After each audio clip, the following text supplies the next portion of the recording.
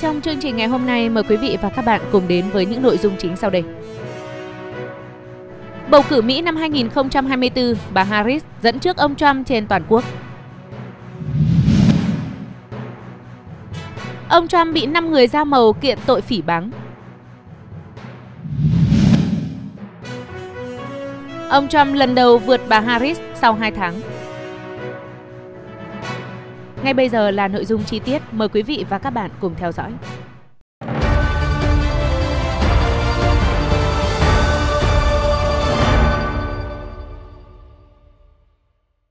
Kết quả thăm dò mới đây của Reuters Ipsos cho thấy Phó Tổng thống Mỹ Kamala Harris dẫn trước cựu Tổng thống Donald Trump 3 điểm trên toàn quốc. Theo kết quả trên, bà Harris giành được 46% ủng hộ và ông Trump giành được 43%. Khoảng cách dẫn trước của ứng viên Đảng Dân Chủ không thay đổi so với cuộc thăm dò được tiến hành vào tuần trước. Trong đó bà Harris giành được 45% ủng hộ so với 42% của ứng cử viên Đảng Cộng Hòa. Kết quả thăm dò cũng chỉ ra rằng vấn đề nhập cư, kinh tế và các mối đe dọa đối với nền dân chủ là những vấn đề quan tâm hàng đầu đối với những cử tri tiềm năng. Cựu Tổng thống Trump dẫn trước trong vấn đề nhập cư và kinh tế với khoảng cách lần lượt là 48, 35% và 46, 38% so với bà Harris. Đường Kim Phó Tổng thống dẫn trước trong vấn đề các mối đe dọa đối với nền dân chủ cũng như chăm sóc sức khỏe và phá thai với tỷ lệ ủng hộ 42% so với 53% của đối thủ. Vấn đề nhập cư là vấn đề hàng đầu mà cử tri mong muốn người chiến thắng dành thời gian trong 100 ngày đầu tiên tại phòng bầu dục với 35% ủng hộ. Các vấn đề quan tâm khác là bất bình đẳng thu nhập 11%, thuế và chăm sóc sức khỏe 10%. Khoảng 70% cử tri đã đăng ký cho biết chi phí sinh hoạt đang đi chệch hướng, trong khi 65% trả lời tương tự về nhập cư và 60% là về nền kinh tế. Cuộc khảo sát của Reuters Ipsos được tiến hành từ ngày 15 đến ngày 21 tháng 10 với 4.129 cử tri tham gia, trong đó 3.481 cử tri đã đăng ký bỏ phiếu, biên độ sai số là 2%. Cuối tuần vừa qua, ông Trump đã vượt qua bà Harris trong dự báo bầu cử của The Hill Decision Desk HQ lần đầu tiên, với mô hình cho thấy ứng cử viên Đảng Cộng Hòa có 52% cơ hội chiến thắng so với 48% của bà Harris. Cũng theo chỉ số thăm dò của The Hill Decision Desk HQ, ứng cử viên Đảng Dân Chủ hiện đang dẫn trước đối thủ 1,2 điểm, 49% so với 47,8% trên toàn quốc. Tổng thống Mỹ Biden cho rằng phụ nữ có thể làm mọi thứ đàn ông có thể làm, bao gồm cả việc trở thành người đứng đầu đất nước. Theo The Hill, trong ngày 21 tháng 10, Tổng thống Mỹ Joe Biden và đệ nhất phu nhân Jill Biden đã tham dự sự kiện trao tặng huân chương nghệ thuật và nhân văn quốc gia ở Nhà Trắng. Tại đây, ông Biden đã có bài phát biểu nhằm tôn vinh sức mạnh của phụ nữ. Ông Biden cho biết là chồng của Jill, tôi biết rất rõ khả năng của phụ nữ, tôi hiểu rõ sức mạnh của những người phụ nữ đang có mặt tại đây. Mọi người sẽ đóng vai trò tiên phong cho thế hệ tiếp theo. Mọi người đã chứng minh rằng phụ nữ có thể làm mọi thứ như đàn ông và hơn thế nữa, bao gồm cả việc trở thành tổng thống Mỹ. Trong bài phát biểu của mình, Tổng thống Biden cũng kêu gọi cử tri phản đối các kế hoạch hạn chế sách ở Mỹ, mô tả đây là mối đe dọa với nghệ thuật và nhân văn. Theo giới quan sát, bình luận của Tổng thống Biden được coi là một nỗ lực nhằm hỗ trợ cho Phó Tổng thống Harris trong bối cảnh ngày bầu cử đã cận kề. Tại sự kiện ở Nhà Trắng, đệ nhất phu nhân Jill Biden cũng tỏ ra vô cùng hào hứng về viễn cảnh bà Harris trở thành Tổng thống Mỹ.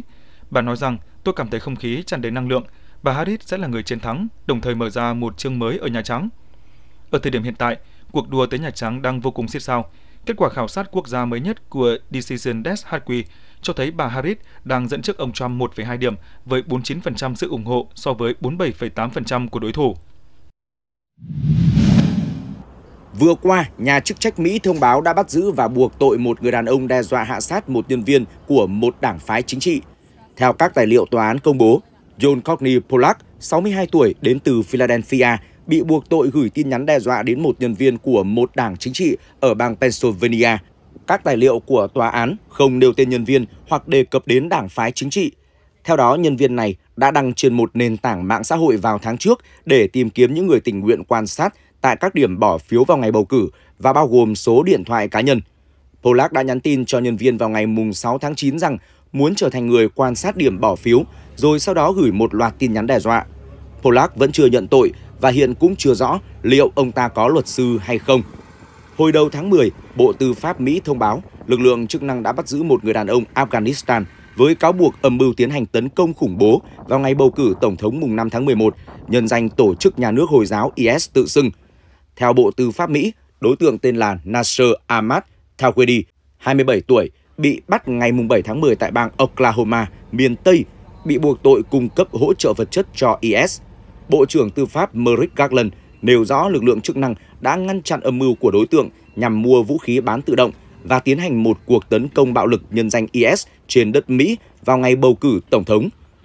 Bộ Tư pháp Mỹ cũng cho biết Tawhidi bị bắt khi đang thực hiện các bước để thanh lý tài sản gia đình, đưa các thành viên gia đình tái định cư ở nước ngoài, mua súng trường tấn công AK-47 và đạn dược, cũng như thực hiện một cuộc tấn công khủng bố tại Mỹ. Tawhidi bị tình nghi lên kế hoạch thực hiện vụ tấn công với một công dân Afghanistan đang ở tuổi vị thành niên được xác định là em rể của đối tượng. Theo số liệu của Bộ Tư pháp Mỹ, tính đến tháng trước, lực lượng đặc nhiệm về các mối đe dọa bầu cử thuộc bộ này đã buộc tội 18 đối tượng. Trong khi đó, một hãng truyền thông phương Tây cho biết đã ghi nhận ít nhất 300 vụ bạo lực chính trị tại Mỹ kể từ năm 2021. Nhóm 5 người đệ đơn kiện ông Trump tội phỉ báng, cáo buộc cựu Tổng thống đưa ra thông tin sai lệch về họ khi tranh luận với bà Harris. Nhóm Central Park Five ngày 21 tháng 10 để đơn kiện ông Donald Trump lên tòa án liên bang ở thành phố Philadelphia, bang Pennsylvania, yêu cầu ông bồi thường thiệt hại về vật chất cũng như tinh thần vì đã phỉ báng họ. Central Park Five gồm 5 người da màu gốc Latin là Joseph Salam, Raymond Santana, Kevin Richardson, Anton Brown và Corey Wiss đều ngoài 50 tuổi. Họ bị kết án oan trong vụ một người đi bộ bị cưỡng hiếp tại công viên trung tâm ở New York City năm 1989 và phải ngồi tù 5 đến 13 năm trước khi được minh oan năm 2002 dựa trên bằng chứng ADN và có người thú tội. Khi tranh luận với ứng viên Tổng thống Đảng Dân Chủ Kamala Harris ngày 10 tháng 9, ông Trump nói với Central Park Five sát hại một người và đã nhận tội. Luật sư đại diện cho Central Park Five viết trong đơn kiện, các tuyên bố của ông Trump là sai và phỉ báng theo nhiều khía cạnh. Các nguyên đơn chưa bao giờ nhận tội trong sự việc ở công viên trung tâm. Họ vẫn khẳng định mình vô tội trong suốt quá trình xét xử, thi hành án cũng như sau khi được trả tự do. Không có nạn nhân nào trong vụ án công viên trung tâm bị sát hại. Central Park Five cho rằng ông Trump đã phỉ báng họ trước 67 triệu người, khiến họ phải tìm cách minh oan một lần nữa. Phát ngôn viên của ông Trump gọi động thái của Central Park Five là vụ kiện phù phiếm, can thiệp bầu cử, dù các nhà hoạt động đang tuyệt vọng của cánh tả thực hiện để đánh lạc hướng người dân Mỹ. Vụ Central Park Five ám ảnh thành phố New York suốt nhiều năm, phơi bày những dạn nứt sâu sắc liên quan sắc tộc, tội phạm và bất bình đẳng trong hệ thống tư pháp. Bản án mà Central Park Five phải chịu làm dấy lên hoài nghi về hoạt động của công tố viên và cảnh sát khi đó. Ông Trump từng bị chỉ trích liên quan Central Park Five sau khi vụ cưỡng hiếp xảy ra. Ông mua quảng cáo trên một số tờ báo ở New York để kêu gọi khôi phục án tử hình. Năm 2014, ông Trump viết bài bình luận trên tờ New York Daily News cho rằng thỏa thuận bồi thường 41 triệu đô la Mỹ mà giới chức New York City dành cho Central Park Five là nỗi ô nhục. Trước đó vào tháng 5, cựu Tổng thống Mỹ Donald Trump bị kết tội vì làm giả hồ sơ kinh doanh để che đậy khoản thanh toán bịt miệng ngôi sao phim khiêu dâm Stormy daniel trước thềm cuộc bầu cử Tổng thống Mỹ năm 2016. Theo tờ New York Times ngày 18 tháng 10, một tài liệu mới được luật sư của bà Stormy daniel công bố cho thấy vào tháng 7, luật sư của ông Trump đã đưa ra một thỏa thuận khác để khiến bà im lặng một lần nữa. Lần này, vì ông Trump đề nghị giảm số tiền mà bà Daniel nợ ông trong vụ ngôi sao phim khiêu dâm này kiện cựu Tổng thống Mỹ về tội phỉ báng. Tòa án đã bác bỏ vụ kiện và yêu cầu bà phải trả phí luật sư của cựu Tổng thống Mỹ.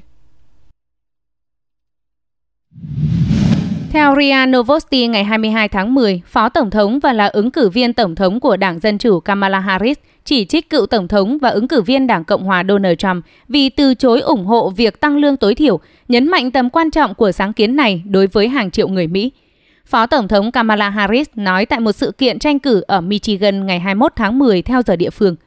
Có nhiều điểm khác biệt giữa tôi và Donald Trump, bao gồm cả vấn đề này. Tôi hoàn toàn tin rằng chúng ta phải tăng mức lương tối thiểu – Người lao động dù ở McDonald's hay ở nơi khác phải có khả năng chu cấp cho gia đình và bản thân họ trong những điều kiện đáp ứng được nhu cầu tối thiểu của họ.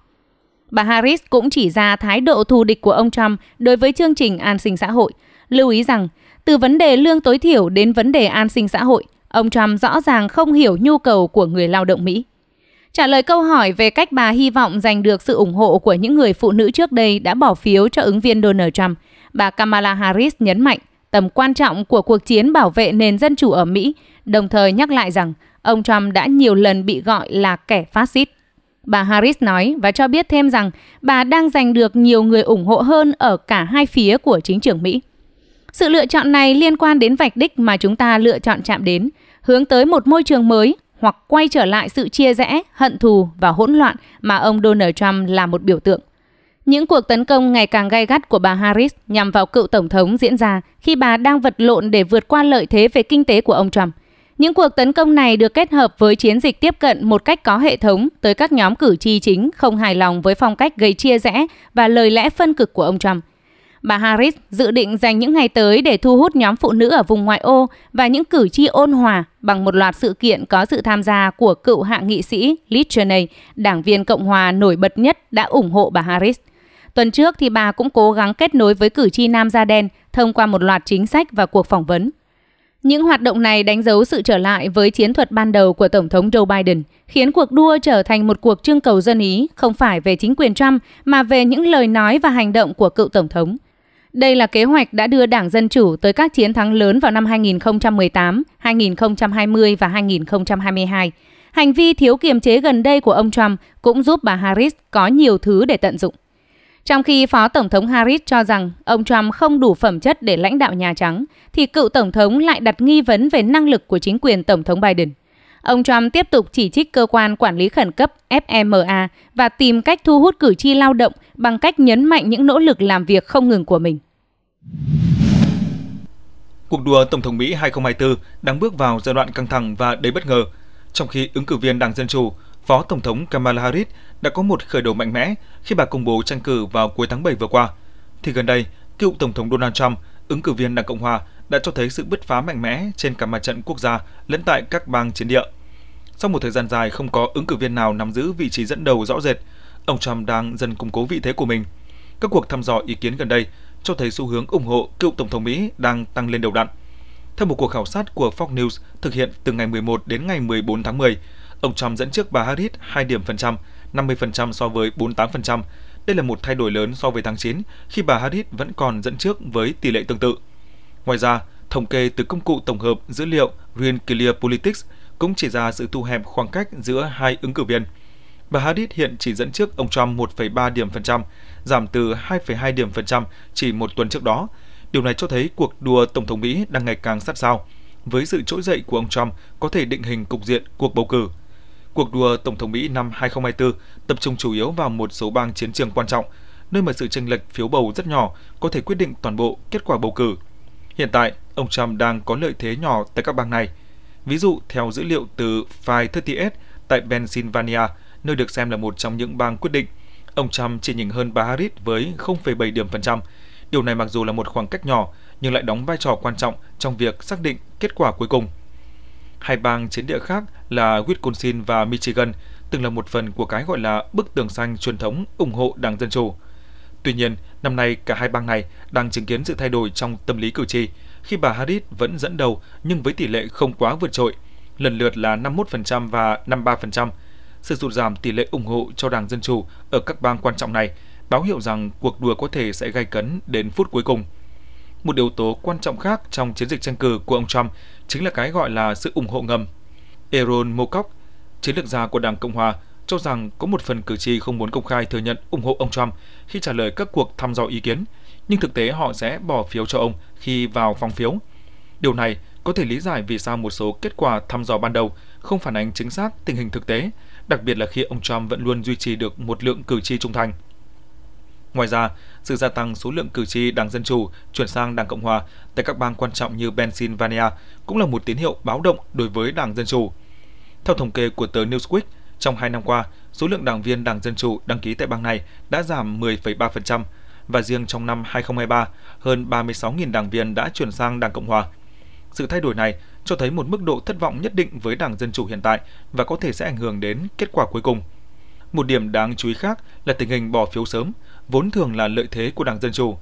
Trong các kỳ bầu cử trước, Đảng Dân Chủ thường dẫn trước đáng kể về số lượng cử tri bỏ phiếu sớm và qua thư.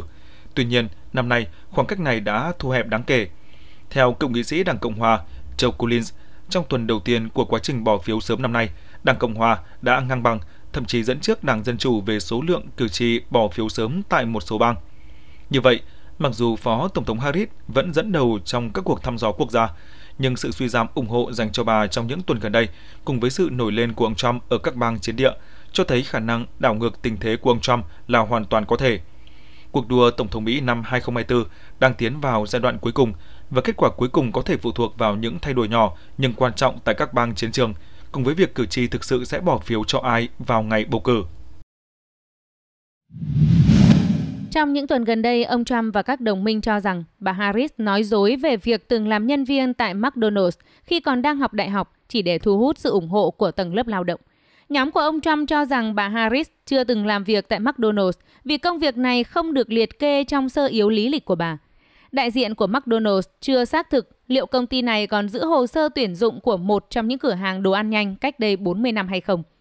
Trong một cuộc phỏng vấn vào tháng trước trên MSNBC, Phó Tổng thống Mỹ Harris nói rằng bà từng làm việc tại chuỗi cửa hàng thức ăn nhanh này cách đây 40 năm khi bà còn là sinh viên. Chiến dịch của bà Harris sau đó ra tuyên bố là ông Trump đã nói dối về việc bà Harris chưa hề làm việc tại cửa hàng thức ăn nhanh. Tuyên bố này cũng cho rằng vị cựu tổng thống tỷ phú không hiểu làm việc để kiếm sống là như thế nào. Còn bà Harris thì nói với hãng tin Reuters, màn diễn của ông Trump cho thấy dấu hiệu nhà tài phiệt này đang tuyệt vọng. Sau việc Trump ghé thăm, McDonald's lập tức ra thông báo rằng công ty không mời ông đến đây hay muốn gây sự chú ý từ cuộc bầu cử. Chúng tôi không cố tình làm điều này, nhưng đây cũng là phép thử cho thấy McDonald's có ảnh hưởng đến nhiều người Mỹ như thế nào. Dù vậy, công ty này cũng khẳng định không ủng hộ ứng cử viên nào trong các cuộc bầu cử. McDonald's không có màu xanh hoặc đỏ, chúng tôi màu vàng. Cuối bức thư là chữ ký của toàn bộ ban lãnh đạo của hãng tại Mỹ. McDonald's hoạt động theo mô hình nhượng quyền thương hiệu với 95% cơ sở kinh doanh. Điều này đồng nghĩa là các cửa hàng mang thương hiệu này hoạt động độc lập và được sở hữu riêng biệt. Dù phải tuân thủ các quy tắc chung của hãng, chủ cửa hàng nhượng quyền được tự do mời các ứng viên chính trị đến mà không cần sự đồng ý của hãng. Dù vậy, trong thông báo, McDonald's cho biết họ tự hào vì ông Trump thường xuyên bày tỏ sự yêu thích với đồ ăn hãng này và bà Harris cũng đề cập đến thời gian làm thêm tại đây khi còn là sinh viên. Một số khách hàng và nhân viên đã chỉ trích công ty này sau việc Trump đến cửa hàng. Họ cho rằng hãng không nên để ứng cử viên tổng thống đến đây để tranh cử. Trong thông báo, công ty này cũng cho biết giới chức địa phương đến gặp chủ cửa hàng nhượng quyền để hỏi về việc liệu Trump có thể ghé qua hay không và người này đã đồng ý. Phát ngôn viên chiến dịch Harris, ông Joseph Costello cho biết, chuyến thăm cửa hàng đồ ăn nhanh McDonald's của cựu Tổng thống Trump cho thấy chính xác những gì chúng ta sẽ chứng kiến trong nhiệm kỳ thứ hai của Trump, lợi dụng người lao động để phục vụ lợi ích cá nhân. Ông Costello nói, ông Trump không hiểu làm việc để kiếm sống là như thế nào, bất kể ông ấy có giàn dựng bao nhiêu bức ảnh, Toàn bộ kế hoạch cho nhiệm kỳ thứ hai của ông là tự giảm thuế cho mình, cho những người bạn giàu có của ông ấy và các tập đoàn khổng lồ.